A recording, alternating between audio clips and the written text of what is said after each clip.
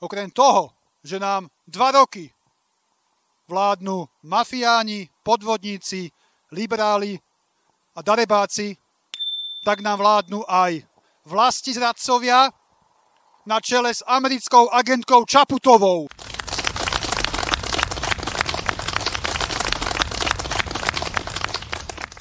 Väčšina ľudí žiaľ zatiaľ sa bojí verejne hovoriť nahlas to, čo si myslí.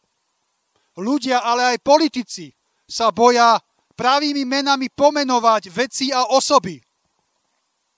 A to je najväčší problém na Slovensku. Ľudia sa boja.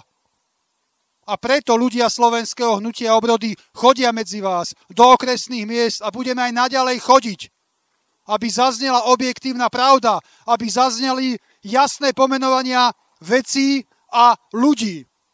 Áno, vládnu nám zločinci. Táto vláda je organizovaná skupina zločincov a za tým si stojíme. Čaputová je americká agentka a za tým si stojíme a budeme to hovoriť bez ohľadu na to, či sa nám niekto vyhráža trestnými oznámeniami alebo nie. Tu ide o všetko, tu ide o Slovensko, tu ide o našu budúcnosť, o budúcnosť našich detí. Nebudeme ticho, na to nech zabudnú.